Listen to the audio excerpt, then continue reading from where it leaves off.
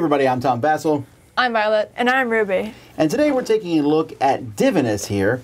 Divinus is a legacy style game in which things will change. You're going to play this game for 12 games, although after those 12 games, you can play the eternal game it's called where you just you reset some stuff and you play forever that way. This is a game that needs an app to play it. Um, and there's going to be spoilers. I'm going to try not to spoil too much stuff in the overview, but here's a little bit about how it plays. Okay, let's start by taking a look here at the app. Here's the base game. Start a new campaign. If you already have one, it saves it. Um, so you can start the campaign, and I have the sound turned down, but there's some music. You pick the number of players that you're going to play with, and then it will start telling you how to set up the game. It has these prompts here a lot. Are you certain you want to proceed? Yes. And sometimes it even warns you about things, but it's going to tell you how to do some setup. As the game goes by, different text will happen and different gods will talk to you. And then it will often tell you to read some rules from the rule book or to add different sticker sections to the rule book. This keeps track of your favor. You have favor with the Greeks and with the Norse, and it will show you that as well as show you your total points that you have overall. And this is the way the app looks like while you're playing the game. Each player is going to be playing a demigod, and you will have a box here. You'll be able to have some special artifacts and special abilities you'll get over the course of the game, some titles, you'll write your name here, and inside you'll have some dice. Now the number of dice you use is determined by the number of players in the game, but on it, you know, when you, at the beginning of a round, you'll roll all your dice. And in the middle of the table here, there's going to be some information. There's going to be some tiles that are drawn from two different stacks of tiles that are placed face up, and these tiles are on top of different numbers that go from 1 to 12 there's going to be at least one god of each pantheon. So in game one, it will be Gaia against Ymir, and then some possible quests that you can do. Now, what players can do on their turn is they get to do one main action, and then they can do one demigod action. At the beginning of the game, there are very few demigod actions. By the time you get to game 12, there's like six or seven different demigod actions that you can do. What you can do is you can take dice and you can add or subtract them to claim tiles on the board. You'll claim a tile and you'll put it in front of you. Now, when you're putting tiles in front of you, it's like many other tile placement games where you have to match a different terrain types, and you are building a 4x4 grid. Once a tile's out, it's kind of stuck there, or at least at the beginning of the game. There are ways to move them out, and some tiles are going to give uh, show icons of the Greeks and the Norse and the barbarians, which are these gray ones here. And so you're building this out. You are allowed to overlay on top of something else as long as it doesn't mess up what you have in front of you. And when one person finishes their 4x4 grid, the game will end. Now, what you can do as you have these dice here, you can also on your turn pull dice off, which will cause new tiles to come out from the stacks. And you'll re-roll the dice and get ready for another turn. The rulebook explains how to play, but you can see there are huge sections here that will be covered up with stickers. There's a lot of different sticker sheets in this game. So this is monster. What are monsters? Well, you'll find out as the game goes by. Although there is a section in the back that is um, like a glossary of sorts, and this section does have rules that you might not see, and you're always supposed to look in it when it tells you. The game comes with a lot of stickers. I'm not going to show you the most of the stickers because that would spoil the game. But I do want to be clear that there are stickers, and the game will start out very at the beginning. There are dice stickers where you'll take these stickers off and put them on your dice, customizing your dice. So maybe I'll put a 9 on one side or one that's a 1 or a 4. There's also going to be stickers that you can put more of these symbols on the board, which will affect things, as well as numbered stickers, which can cause events to happen. The goal of the game is, for each game, is you are trying to meet the different gods' requirements. So this god, for example, wants you to have the most ocean spots and the most mountain spots. And the first person will get favor with that pantheon. Second place gets favor. And this Ymir wants the largest water spot and the largest mountain spots. But as the game goes by, there are quests you can fulfill. Like this one here, you need three of these symbols on grass terrain. And whenever you do a quest, this thing will say, Okay, so you do a quest, and I did the Gale of Fate quest. Yes, I fulfilled the quest. Who are you? I'm player Julius, and this choice is irreversible, blah, blah, blah. And then it will, there's some story and things that will happen. Sometimes even that will add new rules into the game. When you find one of those numbers, you can scan it, although frankly, I don't know why you would scan it when it's easier just to type in the number of the tile. But this one is going to say that this this sticker hasn't been introduced yet because it keeps track of that. But if it does, that can also lead to a story. Eventually, you will finish this scenario, and then it will say who finished the map first because they get one extra point, Julius. And then it will give you some text and it will ask you for each of the gods in the game who scored the different areas. And the gods themselves are fighting, and there will be something that happens and is triggered by that. But basically, each game is going to be by you placing dice, taking these, and building a 4x4 area in front of you. There's going to be variations. The rules are going to get complex. Different gods are going to show up with various things that they need done but that same base game is going to carry you through the whole campaign.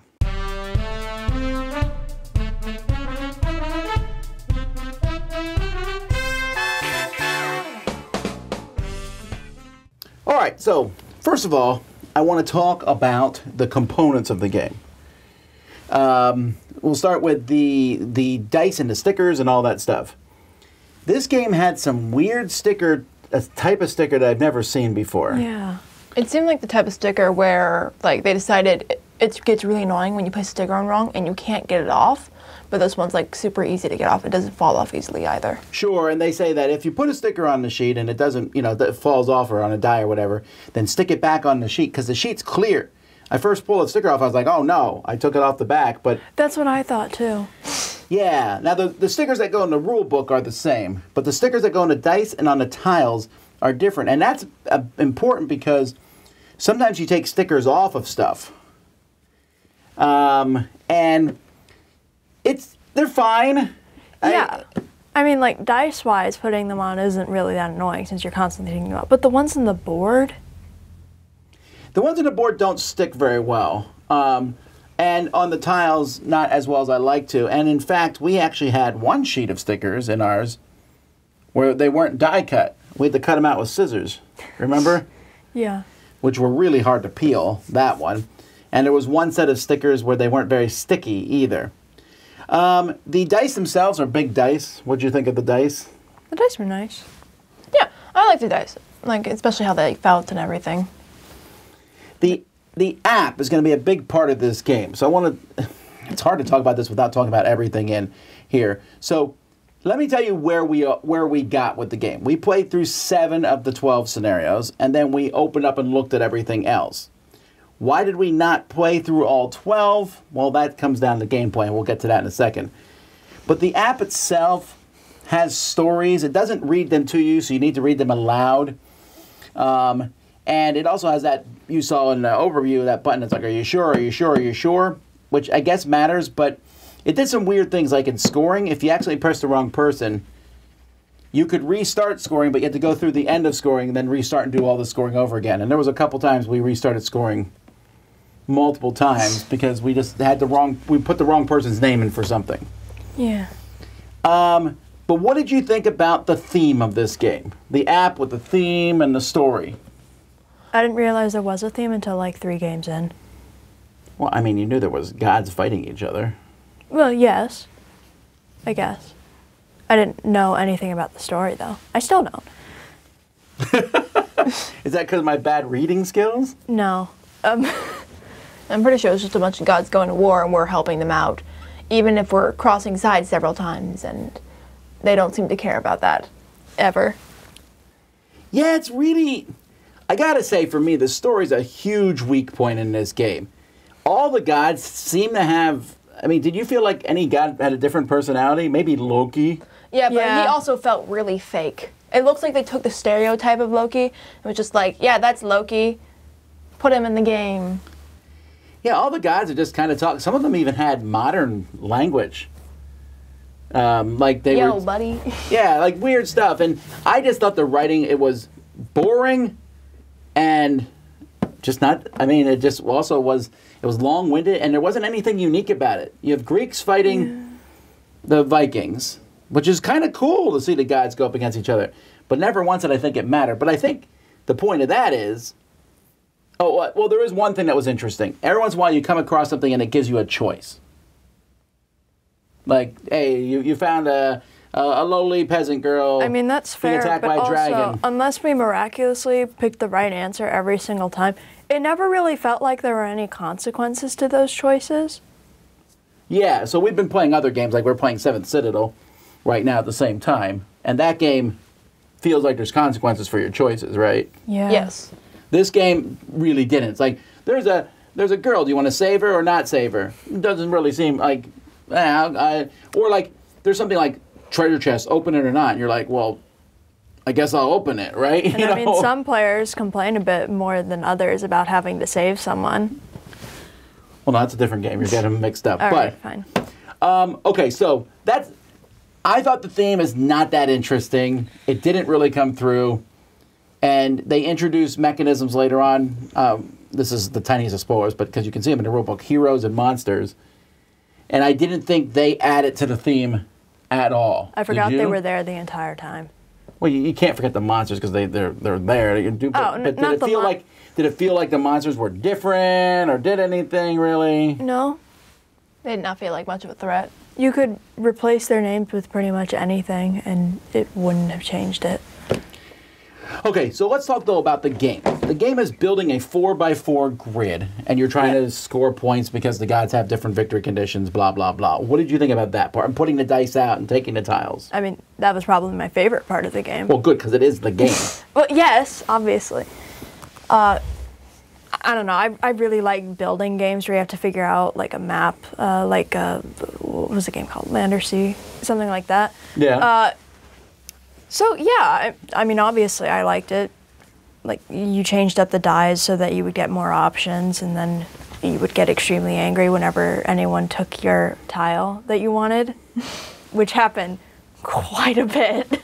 Well, it's his fault for out loud saying what tile he wanted each time it came out. He's like, "Ooh, that looks good," and then you just take it. okay, first of all. Anyways, all. I think we're starting to realize who takes the tiles more than others. Yeah, but okay, so the, the system itself is fine. Use Yeah. dice to put them there, add and subtract to take the stuff. You get really cool dice. You get a nine or like a, a, a three six, and it can be a three or a six. And then there's other things that the dice can do. My concern was I thought game one, the very first game we played, was so boring. Yeah, it felt like a tutorial. like really boring. And then game two, I was like, oh, it's a little more interesting. There's more ways to score, more things to do. We put stickers on the dice, but a lot of times you put stickers on stuff, and they're like, you get to see that next game. And I was like, oh, oh, okay, you know, not as exciting, you know, for this game. Also, there was a couple games where when we did something, it was like, now put these 700 stickers in the rule book. Like I've, I had to pause the game for long periods of time, putting out this stuff. Oh, especially got out with that one page-sized sticker. Yeah, there's a lot of that in Still this didn't game. fit that in well. There's a lot of like pausing and putting a whole lot of rules and adding rules, but the rules are all about building that four by four grid. It's have a bunch of things that are two sized and and you might have seen in the overview there's these magic things and stuff gets added to that but it's again it's build a three mountain build a two mountain build a four mountain with three greeks in it build a greek over here do this it's it's always it felt like every game was the exact same, just a different new rule on how you put these four by four tiles together. And sometimes, I, I near, I mean, getting to the end, it was getting to be like so many things to think about every time you put out a tile. You just couldn't keep track of all of them. I thought. Yeah. That's why you stick to like two things and completely forget about everything else Especially and then special ruin your final scoring. Um, you know those like eh, um, artifacts that you guys did you guys use any of them? Because What artifacts? Oh, she did. She had some great artifacts. What artifacts? The things that you put on the back of the box. Well, not even we got one of the Oh, entire yeah. game. I, I used like one of them a few times. well, no, you're the one that said Oh, every yeah. time you re-rolled your dice, you could re-roll two of them. Yeah, but that's really easy to remember. I don't think I ever used the other oh, one. I, um, would this like be upgraded be part of a spoiler? Yeah. Okay. no, it's not really a spoiler. But you can put stickers it's on the back of the box, mechanic. and you can upgrade them. And Violet just had such bad luck. I kept getting stickers that weren't up. Why was that an option that they couldn't be like, be upgraded? "Hey, upgrade one of your stickers," and she always had stickers that were not upgradable. that happened to you a lot. I never even got the upgrade one. I just had. I, I didn't know upgrading was And an option like, until she "Oh, complained have your dice back. We're sorry. Yeah, so I don't think it's a bad game for me. For me, I don't think Yeah. it's bad. I, I thought it was interesting. It's just that I'm I'm done with it. I don't want to put these tiles in a four by four grid anymore. I've done it seven times throughout this game. And another problem I have with the game is I never know ever who's winning. It's almost always a surprise at the end of the. I mean, sometimes you can kind of guess, Yeah, like but but I'm like, uh, I think you're winning. I'm winning. I don't know. You know. Honestly, uh, I just assume anyone who gets close to the end is winning.